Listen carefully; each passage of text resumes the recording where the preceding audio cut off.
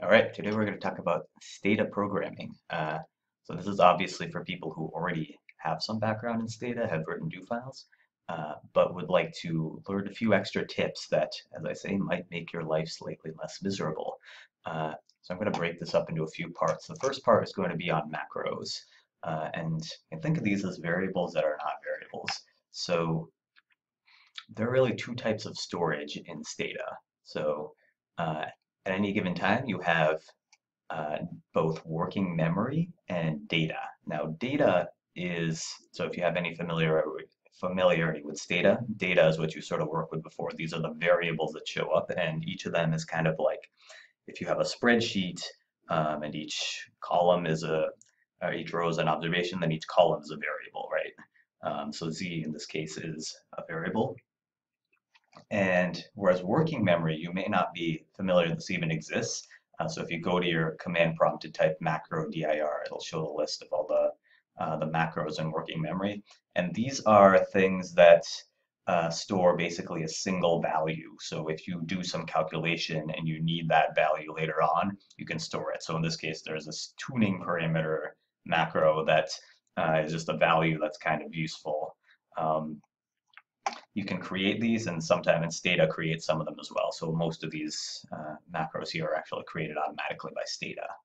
Now, those of you who have any background in programming other languages, say Python, Java, C++, whatever, so macros are actually a lot more similar to actual variables uh, or variables in actual programming languages, whereas what Stata calls variables are a lot more like, as I said, columns in a spreadsheet.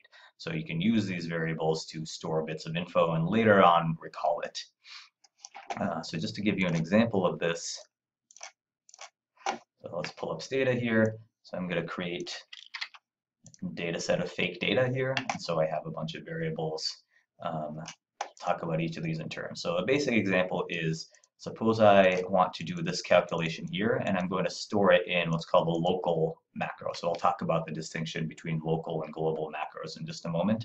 Uh, but suppose I have this, uh, this value, and I want to store it in this macro here. Now, here's what's interesting. So basically, I'm storing the value here. I'm just basically saying I want to define a local macro. I'm going to call it result. And then whatever I put over here is going to be the contents of this thing.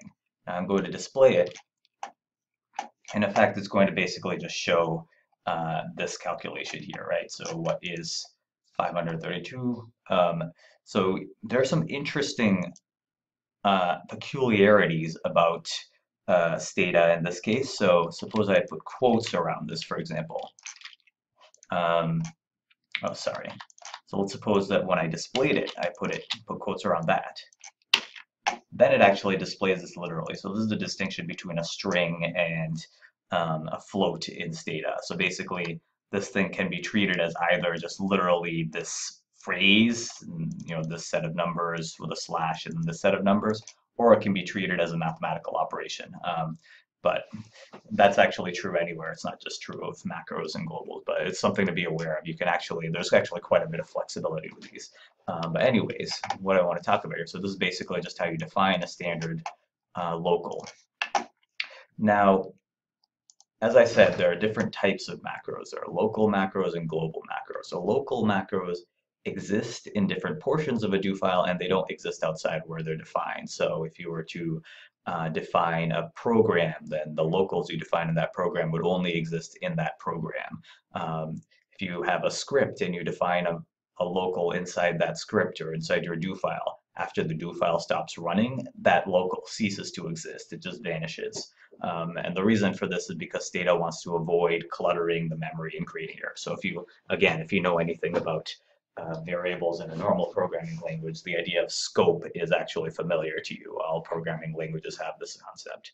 Uh, by contrast, global macros exist everywhere once they are defined. Um, so you define it once, either in a do file or at the command prompt. It'll be defined and will stay there until you either clear it or you close Stata. Um, so to give you an example of this, um, so let's come down here for a moment before I give you a practical example of the value of these. Um, so let's suppose we have a local uh, macro here, So I define this local called blah. I set it to be equal to the value of 10, and I display it. And so you see, it displays the 10. Now let's suppose I take this exact same command here and try to display it. I don't get anything. Um, so there are a couple things there. So basically this is the point that this local is not defined right now. So I can type in macro dir. There is no local called blah. Um, whereas if I uh, take this exact same code here,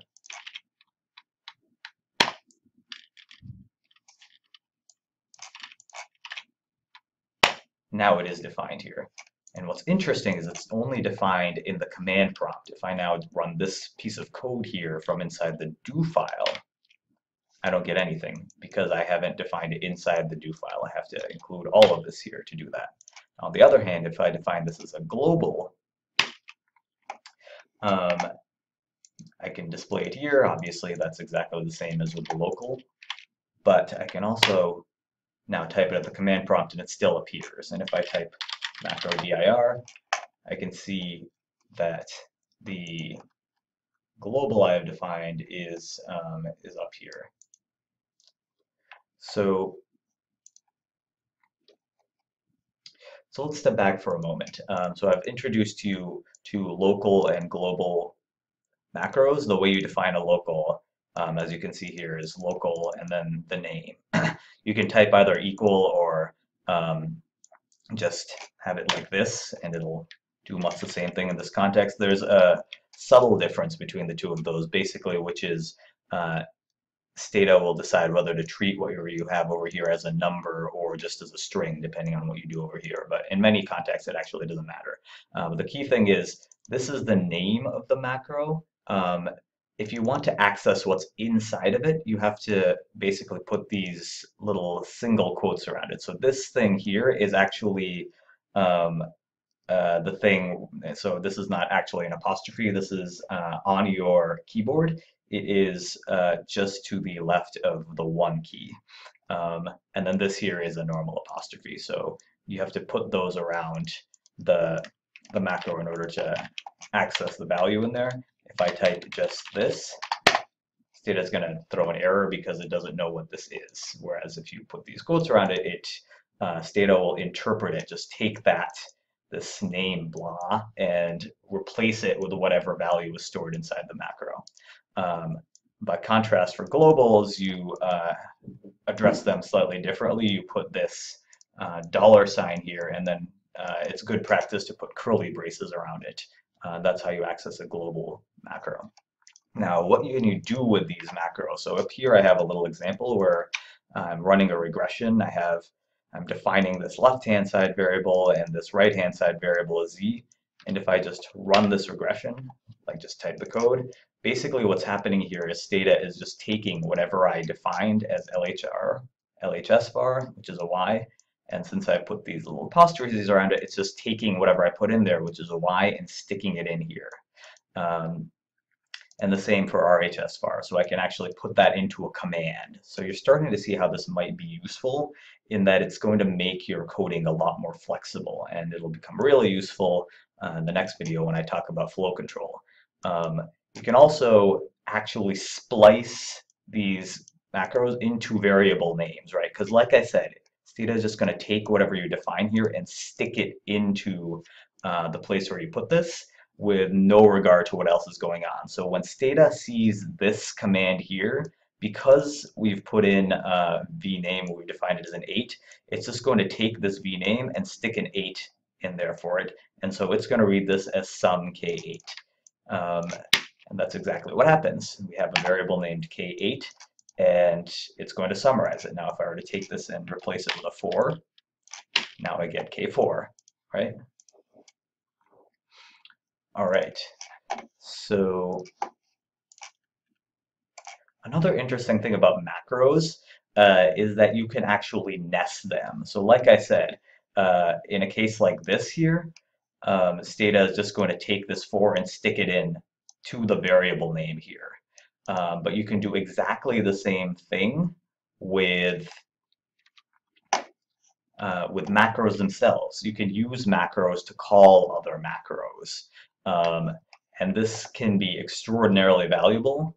Um, so let's suppose I have a bunch of, I define a bunch of macros here, so var 1999, 2005, 2009, so basically different variables corresponding to different years, say.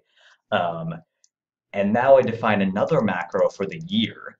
Now here's, so this, uh, it's going to take you a moment to probably interpret this line, but so when I do this, let me just run it first, and we summarize y here. So that's what ends up happening. Why is that?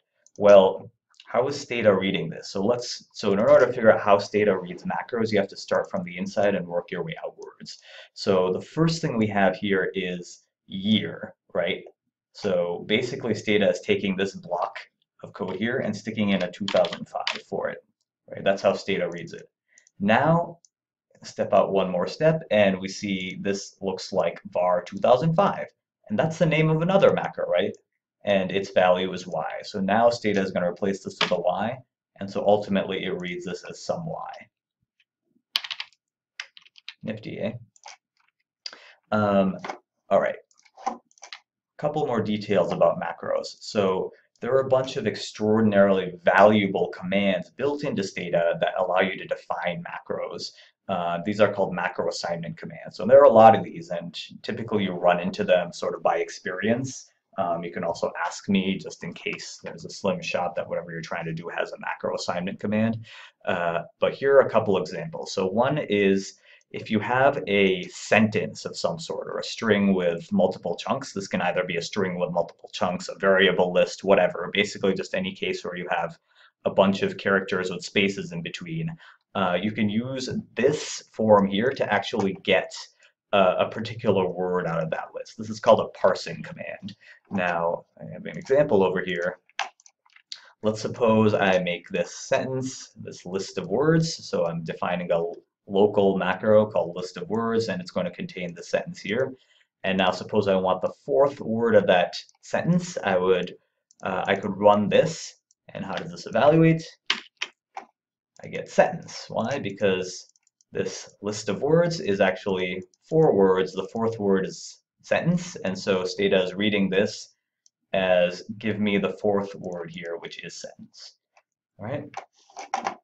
The other extraordinarily valuable um, macro assignment command that I've come across is this format here. So we have a local, the name of the macro, colon, and then uh, var label. So this basically will read the label of a variable. So if you have a data set of variables and they're labeled, you can actually read the label of a variable into a macro. And that can be really useful if, um, for example, you're doing a collapse. The collapse command will take uh, like means, medians, or whatever. It'll calculate summary statistics for a data set. When it does that, it actually erases the labels of all the variables. So uh, if you want to keep those, you can store them all as locals and then relabel later on.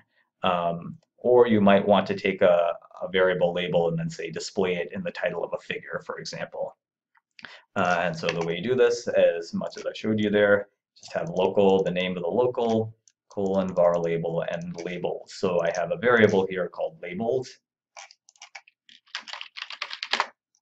with a very uh, creative variable label here.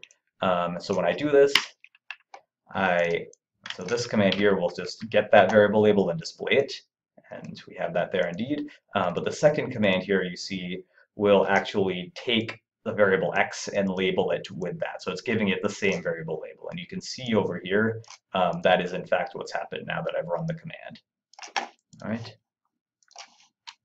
And that's it from macros. Uh, so in the next uh, segment, I will talk about flow control, which is where uh, you'll discover just how valuable macros really can be.